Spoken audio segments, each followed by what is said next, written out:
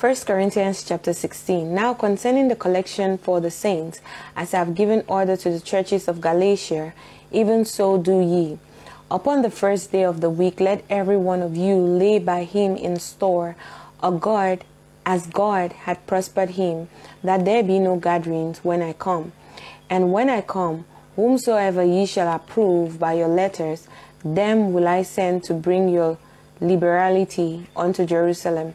And if it be meet that I go also, they shall go with me. Now I will come unto you when I shall pass through Macedonia, for I do pass through Macedonia. And it may be that I will abide, yea, and winter with you, that ye may bring me on my journey whithersoever I go.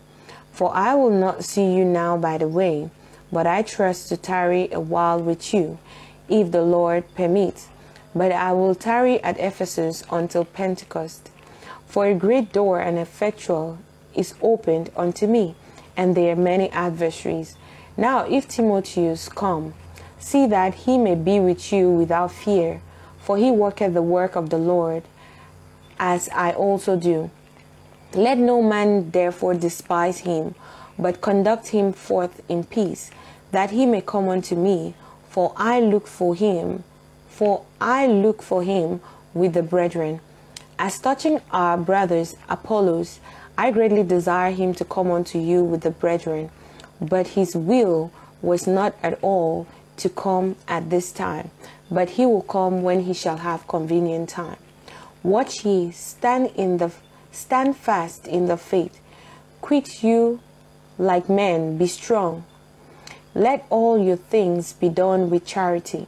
I beseech you, brethren, ye know the house of Stephanas, that it is the first fruits of Achaia, and that they have addicted themselves to the ministry of the saints, that ye submit yourself unto such, and to every one that helped helpeth us, helpeth with us, and laboreth. I am glad of the coming of Stephanas and Fortunatus and Achaicus, for that which was lacking on your part they have supplied. For they have refreshed my spirit and yours, therefore acknowledge ye them that are such. The churches of Asia salute you. Aquila and Priscilla salute you much in the Lord, with the church that is in their house. All the brethren greet you. Greet ye one another with an holy kiss. The salutation of me, Paul, with mine own hand. If any man love not the Lord Jesus Christ, let him be anathema, maranatha.